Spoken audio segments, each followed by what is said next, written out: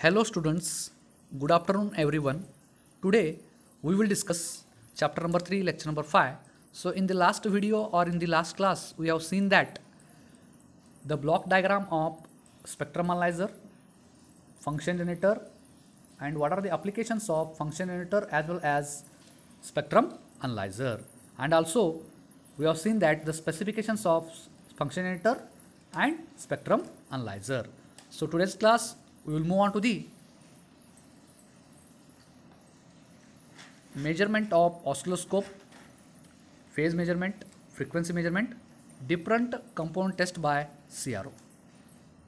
Okay, so next first concept today's class or today's video measurement of oscilloscope that may be voltage measurements, period and frequency measurement, phase measurements by using Lissajous pattern or time delay. Okay, so first we'll move on to the how to measure the voltage by using CRO.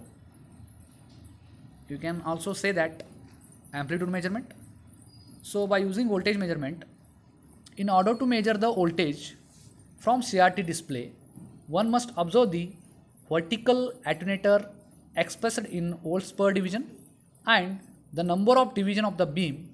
The peak to peak value is calculated as voltage at peak to peak is equal to volts per division multiplied by number of divisions. So while doing the practical, you should know on that CRO you are having one button. So that button name is called as a volts per division. While discussing in the third video or the fourth video, while doing the front panel of that CRO, you know how to observe the volts per division or how to take the reading for that volts per division.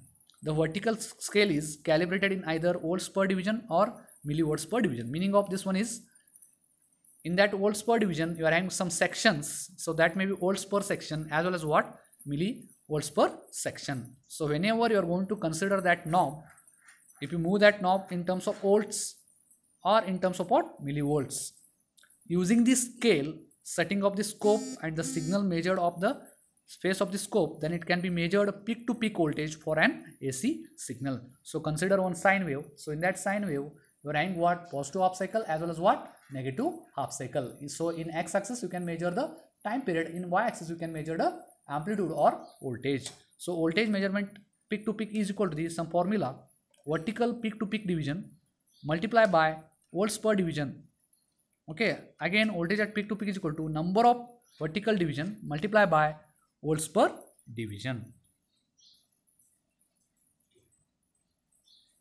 So consider one example voltage measurement. Voltage peak to peak is equal to the volts per division multiplied by number of vertical division.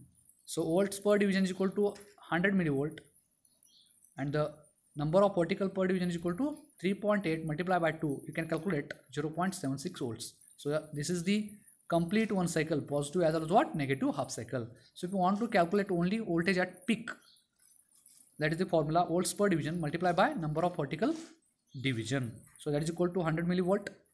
Multiplied by 3.8 only I have to consider the voltage at positive or negative half cycle.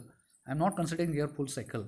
So that's why you are getting the 3.8. If you want to consider voltage at peak to peak, you have to consider both positive half cycle as well as what? Negative half cycle. So next we will move on to the period and frequency measurement. What is that time period measurement? So it is the time required for the wave to complete one cycle that is the positive and negative half cycles. So period time period is equal to number of divisions multiplied by position of time per division knob that is t is equal to time per division multiplied by number of division per cycle. If you want to calculate the frequency measurement f is equal to 1 divided by t in terms of hertz or kilohertz or megahertz. Consider one example if you want to calculate the period, time period and frequency t is equal to time per division multiplied by number of division per cycle is equal to the 0.5 millisecond per division that is the time per division multiply by 10 that is the number of division per cycle. If you want to calculate this one multiply with multiply these two 5 millisecond. So if you want to calculate the frequency one once you know the time period there is one formula f is equal to 1 divided by t that is 1 divided by 5 millisecond. You will get 200 hertz. Next we'll move on to the Lissajous pattern. So by using this Lissajous pattern if you want to measure there are two types. One is the phase measurement and the other one is the frequency measurement. So what is that what is that phase measurement? By using Lissajous figure. So first of all the CRO is set to operate in the XY mode. Then display obtained on the screen of CRO is called Lissajous pattern. Second one when two sine waves of the same frequencies are applied to the CRO so depending on the phase shift between the two signals the shape of the Lissajous pattern will be keep on changing and the phase shift is given by theta is equal to sine inverse of a by b or sine theta is equal to y1 by y2 or x1 by x2 here theta is the phase angle in degree. Y1 is equal to the distance from x-axis to the point where the Lissajous pattern crosses the y-axis y2 is equal to the maximum vertical distance on the Lissajous x1 is the distance from y-axis to the point where the Lissajous pattern crosses the x-axis x2 is equal to maximum horizontal distance on the Lissajous. Consider one example. The Lissajous pattern will be ellipse of the sine waves of the equal frequency but the phase shift between the 0 degree and 90 degrees are applied to the two channels of the CRO. So that Lissajous pattern should be 0 is less than theta less than 90 degree.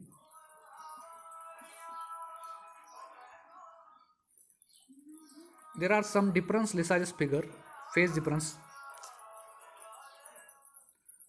You can observe on that diagram.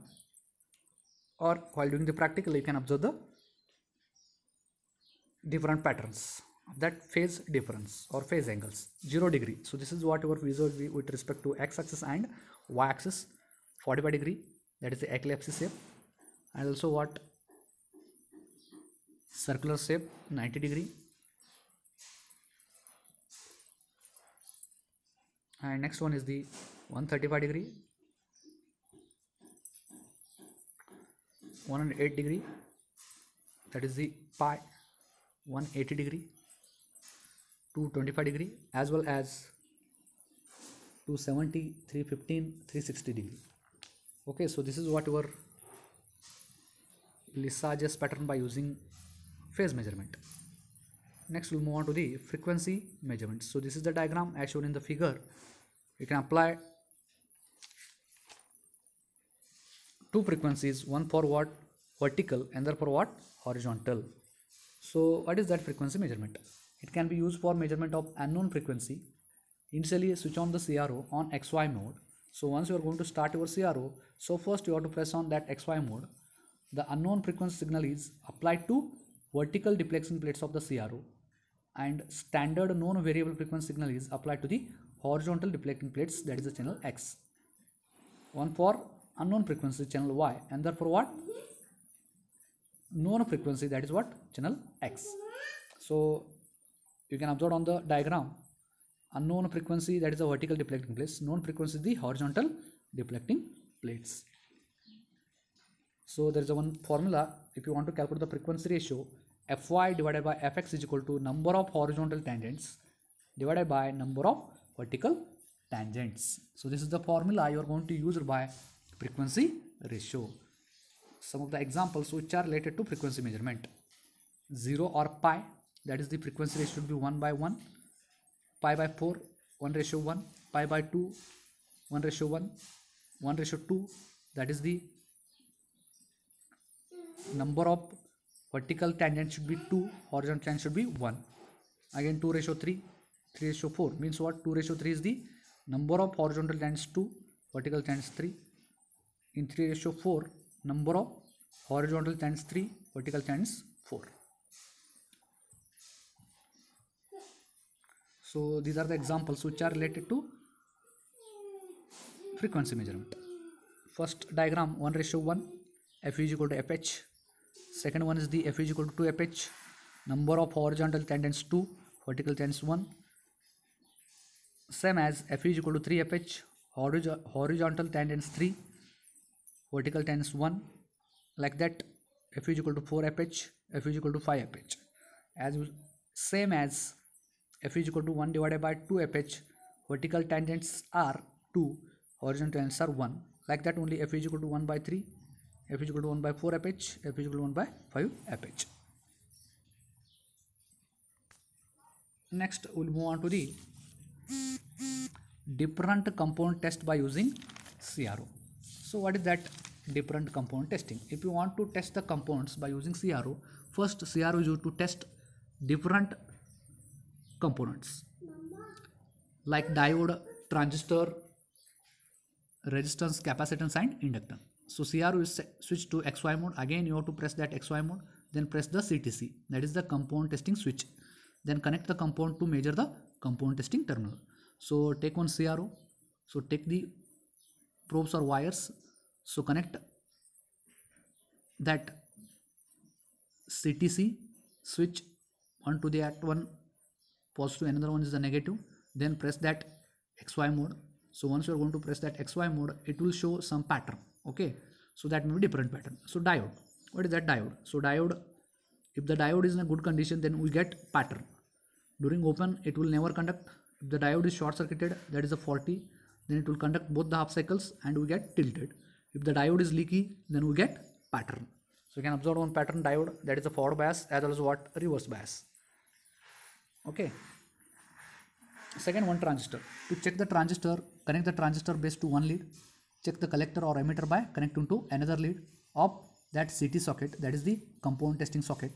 Hence the pattern observed so you can observe emitter base as well as emitter collector.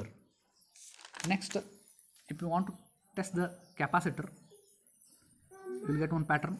Apart from this one you will get different pattern also. While measuring the capacitor connect to one terminal of the capacitor to one lead another to the second lead of the ct socket that is the component testing socket it is shown in the elliptical shape with sharp angle straight line. Next one.